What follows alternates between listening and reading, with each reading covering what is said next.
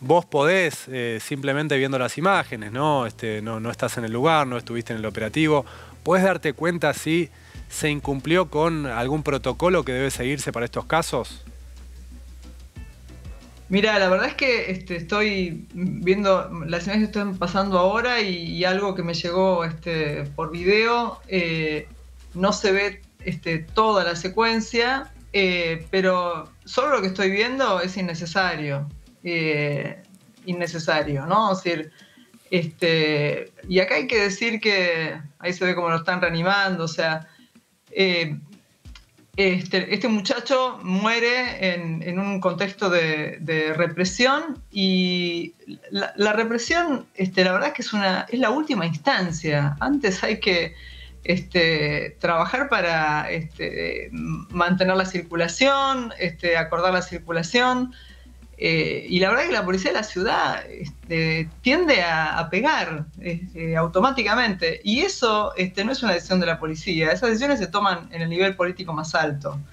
Eh, yo siempre digo, es muy fácil responsabilizar a la policía, aunque obviamente quien lo asfixió o, lo apretó contra el piso, me, me, todas las imágenes son tremendas, ¿no? O sea, ese policía solo, fuera, de la, fuera del, del cordón del cordón este, de infantería, fuera de protocolo, pero por, completo, ¿no? Sí. Este, pero es lo que suele hacer la policía. La policía de la ciudad no tiene un entrenamiento ni una dirección política para hacer otra cosa.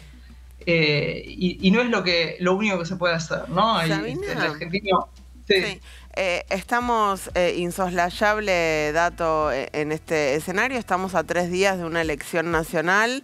Muchas de las miradas sobre este episodio, sobre el episodio de represión en Constitución, están posadas sobre si puede haber alguna intencionalidad política detrás de esto.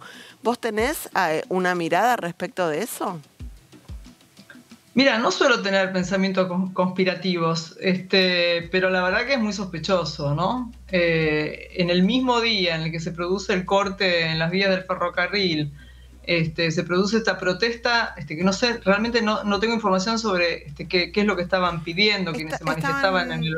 eran sectores de izquierda, una, una manifestación realmente poco nutrida. Pacífica. Eh, sí, eh, pidiendo votar en blanco. Querían incendiar una urna, este, no sé si de madera, ahí en, la, en, en el obelisco. Bueno, o sea, la verdad que nada grave, este, nada que amerite eh, la represión y mucho menos la, pérdida de la vida de una persona, ¿no? En ese escenario. Eh, es un poco extraño, ¿no? Que todo esto pase a tres días este, de las elecciones, no vamos a incluir el episodio del asesinato de Morena, porque eso me parece que sí está fuera de, este, de este contexto, pero estos dos hechos, tanto el corte como inclusive algunas escenas que se ven en la estación de Constitución de policías pegando, ¿no? Increíble. Eh, que eso es, habiendo sido ministra de Seguridad, no hay forma de que eso ocurra, sino este, hay, este, si, si hay un control político, no ocurren esas cosas.